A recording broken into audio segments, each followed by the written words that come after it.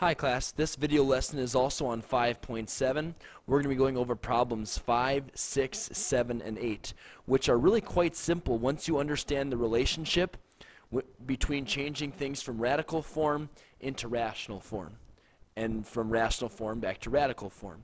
So for number 5 through 8, it says write each radical, each radical using rational exponents.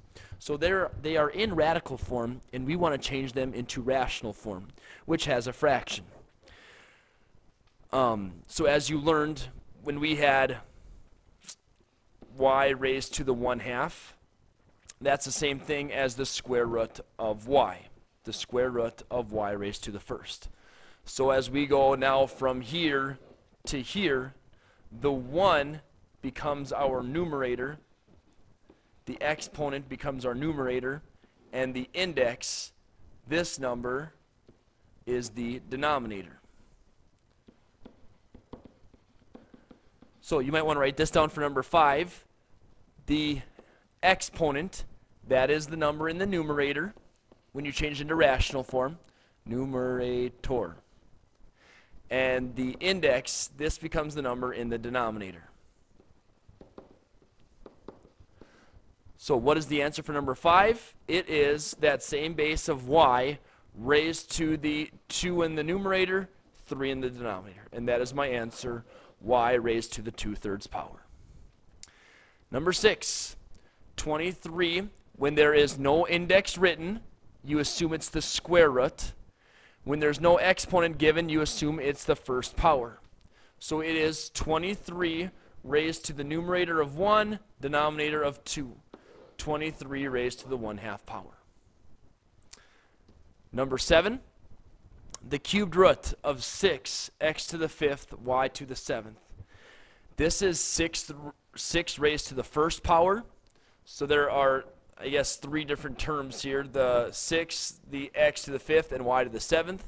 So our answer in rational form is 6 raised to the 1 third, x raised to the 5 thirds, y raised to the 7 thirds. The exponents are all in the numerator. That index of 3 is in the denominator. So our answer is 6 raised to the 1 third, x raised to the 5 thirds, y raised to the 7 thirds. You guys pause the video, try to do number 8 on your own now. So as you tried to do number 8, I'm sure you had 27 raised to the first, so you got 27 raised to the third power, a raised to the 2 thirds power, and x raised to the 1 third power, because there's an exponent of 1 right there. If you circle this as your answer, you did a lot of good work here. However, you forgot one thing if you had your answer like this. 27 raised to the 1 third. That can be simplified. This is one of those, as you see with the 27 with the 3 next to it, hopefully you recognize that 3 cubed is 27.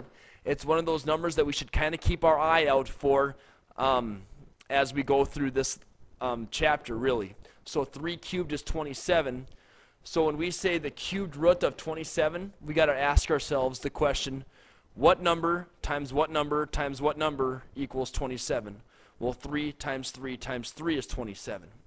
So this can be simplified. 27 raised to the 1 third is 3. So 3 a raised to the 2 thirds x raised to the 1 third. This class is the correct answer. If you had this for your correct answer, you did a very good job. I had you do this by yourself to kind of give you a little bit of a curveball so you can kind of um, recognize that you got to keep your eye open for these relationships um, that we're going to be seeing here in this chapter.